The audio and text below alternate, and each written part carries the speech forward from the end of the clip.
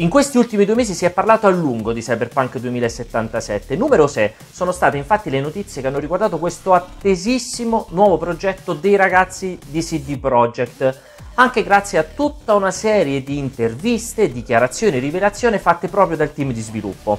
Approfittando di una recente affermazione riguardante la linea temporale in cui è ambientato il gioco, ho deciso di fare un po' il punto della situazione di tutte le informazioni disponibili in giro. Se anche voi come me state aspettando tantissimo questo gioco, allora seguitemi nel resto del video perché magari qualche novità vi potrebbe essere sfuggita.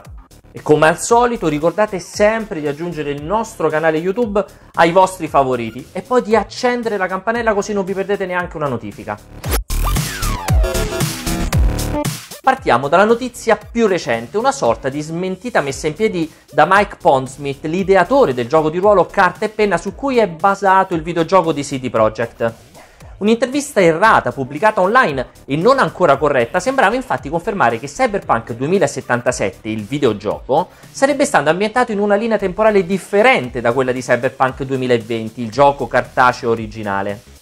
Pondsmith ha però sottolineato che non è affatto così, visto che i due progetti condivideranno la medesima timeline, che risulta essere quindi unificata, anche se ovviamente sarà basata su due periodi temporali distinti e adeguatamente lontani.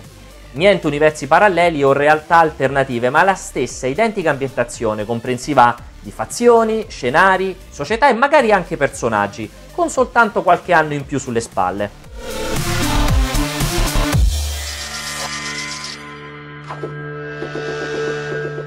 Dobbiamo invece a Mateusz Tomaszkiewicz, il quest director di Cyberpunk 2077, tutta una serie di nuove informazioni e dettagli sulle missioni del gioco, che ha letteralmente centellinato nel corso di diverse interviste. Innanzitutto Tomaszkiewicz ha voluto sottolineare come le quest di Cyberpunk 2077 rappresentino un nuovo punto di riferimento nella storia del team, che tra l'altro già aveva stupito il pubblico per l'eccellente qualità di quelle presenti in The Witcher 3. Le missioni non saranno infatti soltanto più varie, ma offriranno un gameplay completamente non lineare. Non si tratta solo di una questione di scelte e conseguenze che riguarderanno le decisioni che il giocatore dovrà prendere, ma cambierà proprio come ci si potrà approcciare a queste missioni, visto che tutte offriranno molteplici modi per essere affrontate e completate, in funzione di come è stato creato il giocatore, di quali sono le sue abilità, gli strumenti a sua disposizione, dei personaggi con cui ha interagito e così via. Tomaskiewicz ha parlato di almeno 3-5 differenti modi per affrontare ogni missione o alcune sfide interne alle varie quest. Il gameplay sarà quindi fortemente non lineare e si allontanerà con forza da quanto sperimentato nella serie The Witcher. Inoltre lo svolgimento e l'esito di queste missioni non potrà mai comportare il game over, ma semplicemente dovremo convivere con i risultati delle nostre azioni, anche se queste saranno raffazzonate o comunque maldestre. Possiamo immaginare le classiche missioni di scorta, oppure quelle in cui dovremo raggiungere un determinato obiettivo entro un periodo di tempo limitato. Ecco, è possibile che in casi come questi il fallimento degli obiettivi non obbligherà il giocatore a ripetere la missione oppure a beccarsi la schermata del game over, ma semplicemente la storia andrà avanti tenendo conto della nostra incapacità, che magari avrà conseguenze più o meno drastiche sul mondo di gioco. Stando alle parole di Tomaskiewicz, il game over vero e proprio si avrà soltanto nel momento in cui il nostro protagonista morirà. In quel caso dovremo probabilmente ricaricare un salvataggio o un checkpoint precedente e riprovare. Tra l'altro, proprio parlando di strumenti a disposizione del giocatore, Tomaskiewicz ha sottolineato come l'arsenale sarà davvero ricco e variegato. Pur rimanendo di fondo un gioco di ruolo, Cyberpunk 2077 sfrutterà a piene mani le caratteristiche degli shooter, proponendo tantissime armi con funzionalità molto diverse, come ad esempio il fucile con munizioni intelligenti che si è intravisto durante la presentazione dello scorso E3. Grande spazio sarà dato anche al combattimento corpo a corpo, con numerose armi contundenti e da taglio che ben si prestano alla visuale in prima persona. Insomma, anche su questo fronte sembra proprio che CD Projekt non si stia risparmiando, con il preciso obiettivo di realizzare un titolo vastissimo e colmo di opportunità. Ma in concreto, quando diavolo riusciremo a giocare questo Cyberpunk 2077? Beh, questa è un po' la domanda da un milione di dollari a cui è difficilissimo rispondere. Innanzitutto sappiamo che lo sviluppatore sarà presente in forze anche alle 3 di quest'anno, che vi ricordo si terrà dall'11 al 13 giugno a Los Angeles, più qualche giorno prima per le varie conferenze. Ovviamente noi di multiplayer.it saremo lì, belli pronti a seguire come di consueto l'evento.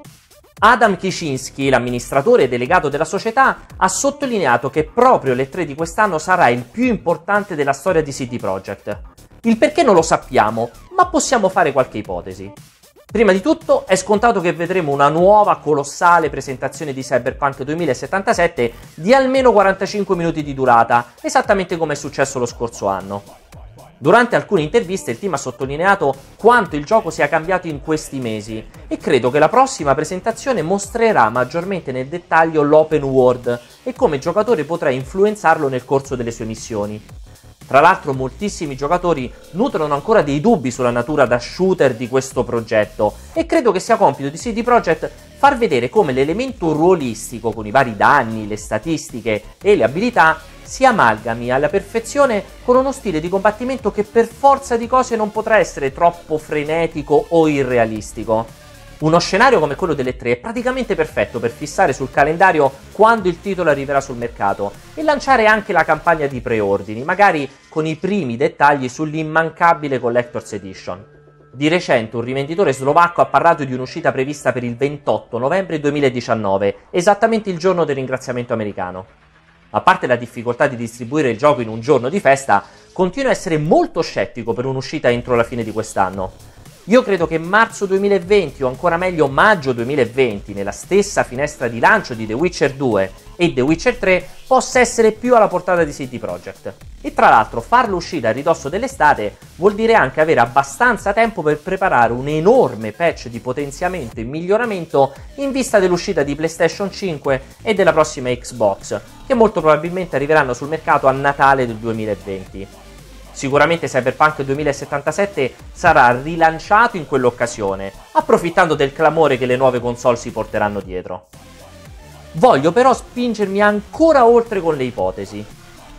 Stando ai recenti risultati finanziari del team e alle parole del suo amministratore delegato, CD Projekt sarebbe pronta a lanciare sul mercato ben due titoli AAA entro la fine del 2021.